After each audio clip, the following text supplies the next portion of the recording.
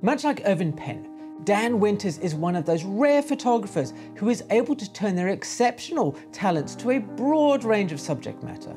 In addition to his celebrity portraiture, Winters creates scientific photography where he explores themes like space and aeronautics.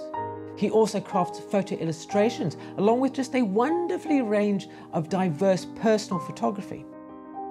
It's a lesson to us all that photographers don't have to stick to one exclusive style. The photography that Dan Winters has created over the last 40 odd years is a perfect example of what happens when talent, passion, and an understanding of the craft combine. Let's take a trip on Dan Winters' road to seeing and discover this amazing photographer's work. How's it, how's it? Brave words indeed, comparing Dan Winters to the icon that is Irving Penn. But I feel that once you spend some time here looking at the wonderful photography of Dan Winters, you too will start to see the genius at play in his fantastic photographs. The best way to get a feel for Dan Winters' photography, or indeed any photographers, is to look at their monographs. And when we do this, we can see the images as a whole body of work. And once we start doing this, I'm sure that you will also start to see the parallels between Dan Winters and Irving Penn. Sometimes when you want to get a book, you have to go all over the place to find it. And this edition of Dan Winters' monograph was no exception. It was out of print for ages, but I found an Italian version. So if anybody speaks Italian, please let me know what Scatti dal America means. I don't know. Anyway, so this is Dan Winters, and on the cover here, we, he sets out his stall already. You know, this is Sandra Bullock, and, and it's a wonderfully beautiful photograph. And I love the idea that she's sort of floating on the water there. It's just outstanding. And, and it gives us a taste of, of what's inside. Something that Dan Winters does a lot, which I absolutely love, is he takes elements of the person and photographs them individually. So here we have Mr. Rogers, who, if you're not an American or if you're not like me, who have some sort of weird knowledge of, of American culture, Mr. Rogers was a TV children's presenter and he was famous for his cardigans. And so we here we have obviously the portrait of Mr. Rogers on the left hand side, and then his famous cardigan, some would say iconic cardigan. And you see this quite a lot in Dan Winters' work where he takes the two elements of, of somebody, the, the personality of them, plus their their iconography. I don't know if that's quite the right expression, but the thing that makes them them and says, is Mr. Rogers Mr. Rogers because he wears the red cardigan, or does the red cardigan make Mr. Rogers? Answers on a postcard. this is that same idea at play. We have a bald eagle on the right hand side and he's, he's photographed absolutely beautiful. And I, I will say this about all of Dan Winters' photographs. They are all exquisite. They are absolutely technically beautiful to look at. I know I often say that technicalities shouldn't really matter, but Dan Winters is, I think, one of the, the great examples of somebody who puts care and love and attention to detail into every single image that he creates. And then, of course, we have this this this piece on the left, this this this sort of disembodied claw, of, of, of the eagle. So again, we got that sort of juxtaposition where the, the two are sort of working together. But that claw has also been photographed with, with a dignity and a respect.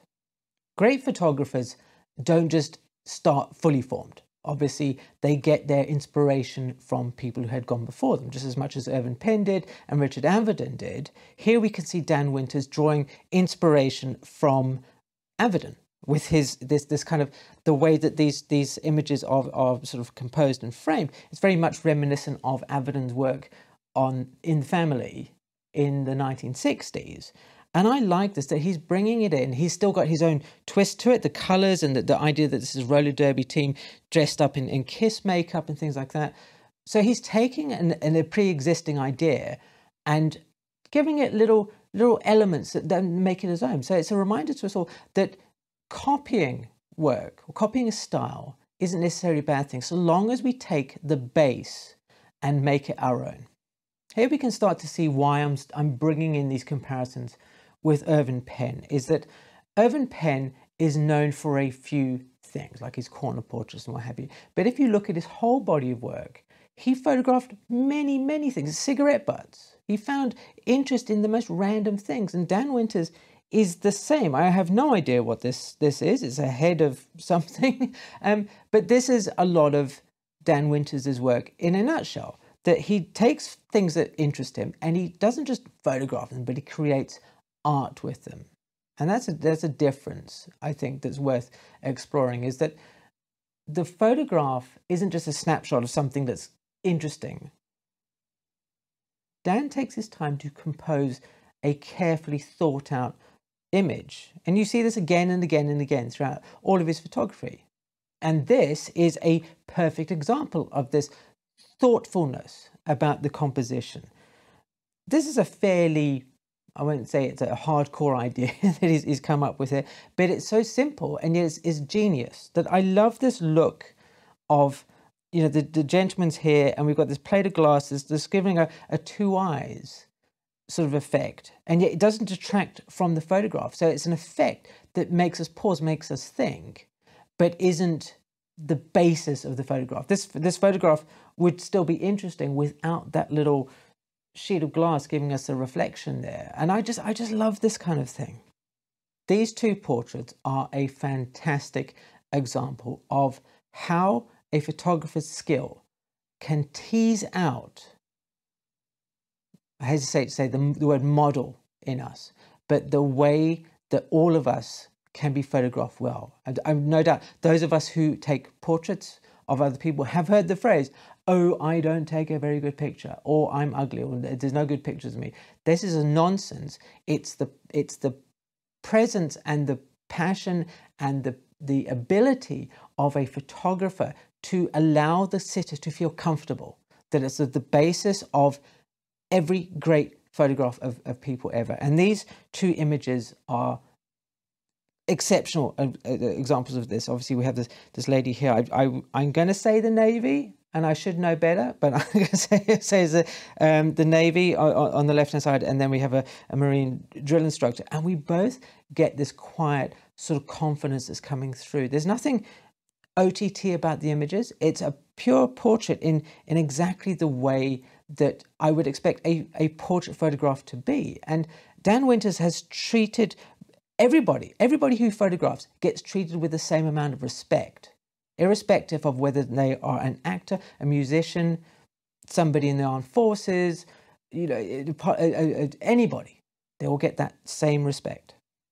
This is again a piece of Irving Pennness coming coming into this this photograph. This series of images here, or these series of images, are about aeronautical things, their shapes, and he's photographing these things as as objects of, of art, of objects, of something to, to be looked at and, and appreciated. And Irving Penn did similar things with his, uh, you know, with his, his still lives and his, his, his cigarette butts and, and those sort of images is that a great photographer never stops wanting to experiment, never stops wanting to explore what they're capable of, how they can see the world.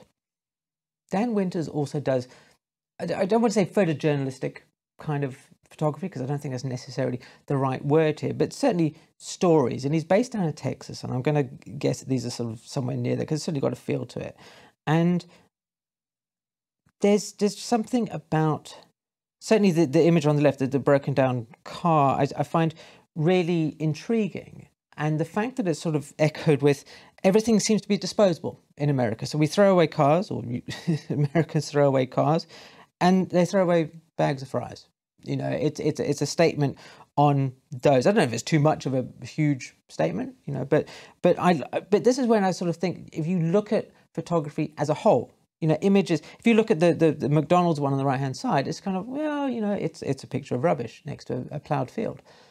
But when you put next to this this car, then we start getting more of a feel about what the photographer is thinking with all of his his work, and and that's something uh, uh, why we should always look at photography as, as a collection of images, not just single images. So often overlooked in monographs is the fun that you can have with images in their layout. And this, again, we can't do this when it's online. But here we have certainly an alien, a monster, you know, something from Mars possibly. And then here we have on the next page, Tim Burton. it's a lovely way of, of breaking up books and, and giving little wry smiles to to to the reader. And if you're not familiar, uh, Tim Burton did Mars Attacks, um, which is a, a, a sort of a, a, bubblegum movie from from the 90s, and it's it's a lot of fun. But you know, this this is this is why you should look at books, look at monographs as often as you possibly can. I talk about this connection that I see between Dan Winters' photography and Irving Penn's. And I know some people might think that that's a bit of a stretch because Irving Penn is one of these great names in photography. But when I look at Dan Winters' body of work as a whole, I see the same, not the same photographs. I see echoes of their photographs, or certainly I see echoes of, of Irving Penn's photography in Dan Winters' images. But what I do see is the same passion, the same intrigue, and that, that drive to create photographs all the time, to invest themselves fully into the, the moment, in, into, the, into the process of, of creating, of having a voice inside that needs to come out all the time, just pushing and pushing and pushing and pushing.